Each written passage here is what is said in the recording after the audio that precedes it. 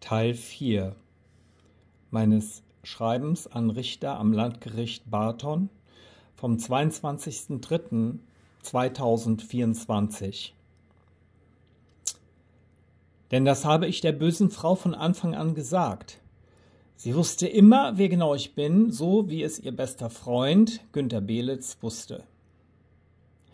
Wer den Weg der Wahrheit geht, stolpert nicht. Mahatma Gandhi. Ich wünsche Ihnen, Herr Barton, Erleuchtung, denn als Richter kann man einfach nicht so ekelhaft korrupt sein, wie Sie es nachweislich tatsächlich sind. Sie sollten eigentlich auch Ihre Koffer packen und nach Sibirien auswandern. Da können Sie dann Nawalnys in den Tod schicken, bis Sie dabei einschlafen. Wissen Sie eigentlich, wie ekelhaft das ist, was die Justiz Münster für 13 lange, nicht enden wollende Jahre mit mir abgezogen hat? Ja? Können Sie sich das vorstellen? So wie Sie, Richter Barton, mir meine Karriere vorsätzlich zerstörten, so revanchiere ich mich bei Ihnen und stempel Sie mit heutiger Wirkung zur absoluten Lachnummer ab. Sie sind ein Witz, nicht mehr und nicht weniger der Sidekick eines Präsidenten, der so müde ist, dass man gähnen muss, wenn man seine schläfrigen Augen und sein weißes Haar nur sieht. Herr Schambert könnte jeden Tag nun Shanti spielen, wenn er sich entschließt, jetzt endlich abzutreten und seinem vergifteten Haus einen Neuanfang zu gönnen und zu gewähren.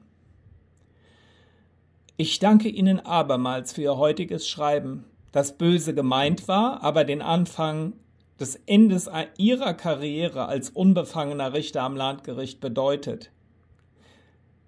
Sie sollten sich wirklich schämen, ein Totalausfall wie Kostolmann geworden zu sein. Gegenüber simplen ethischen Prinzipien. Oder kennen Sie unser Grundgesetz Artikel 3 Absatz 3 nicht, Herr Richter Barton, der ein fast Todesurteil und absolutes Unrecht in Form einer Zwangsräumung mit unterschrieben hat. Dass deshalb noch kein Blut an ihren Fingern klebt, danken Sie das unserem allmächtigen Herrn. Das ist ebenso kein Witz. Ich werde heute sogar für Ihre hasserfüllte Seele beten, Herr Noch, Richter am Landgericht Münster, Barton. Amen. Mit freundlichen Grüßen Siegfried Schmidt-König alias Mark Bellinghaus. Ich lege Ihnen meine beiden Petitionen ans Herz https Doppelpunkt slash slash www.change.org slash Mark Bellinghaus. Und die zweite change.org slash Fall Bellinghaus. Außerdem habe ich in kürzester Zeit jetzt 188 teils Beweisvideos hochgeladen und als Inhaber eines gültigen Presseausweises können und dürfen Sie das auch mir auch nicht verbieten. Aber sicher finden Sie auch schon wieder eine Ausnahmeregelung, denn bereits der kinderschändende Dalai Lama, den ich eigenhändig und wahrscheinlich als einziger in der Welt im Polizeipräsidium Münster angezeigt hatte, sagte immer in seinen Weisheiten, man muss die Gesetze genauestens kennen, um sie brechen zu können. Dalai Lama. Und genau das macht die Justiz Münster mit mir seit 13 Jahren. Nichts anderes tun sie hier in Münster. Mit mir und so, als wäre es das Normalste von der Welt.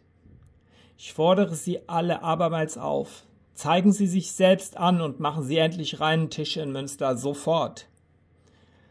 Dann habe ich hier ein Foto von Herrn Markus Lewe, dem Oberbürgermeister von Münster, zusammen mit dem Oberbürgermeister von Kiew, Herrn Vitali Klitschko, auch als Weltboxer bekannt, der meine äh, Peace äh, Wings, die Friedensflügel, am 15.09.2023 in Empfang, in Empfang nahm und sich dafür bedankte, freute, seine Faust hochreckte und äh, es wirklich genoss, meine Kunst. Und ich muss mir hier von so einem Richter wieder eine Abfuhr erteilen lassen.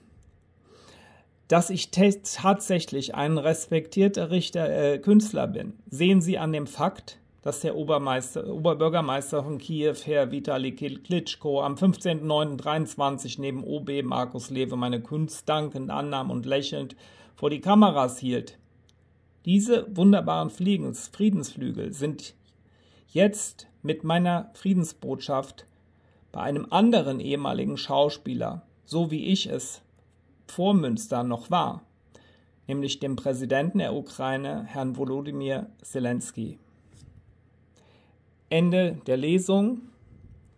Ich bitte die Justiz Münster und alle, die das hören, die dazugehören, darüber nachzudenken und sich endlich selbst anzuzeigen. Der Fall Mollert sollte Ihnen allen, allen noch im Gewissen liegen, wenn Sie eins haben.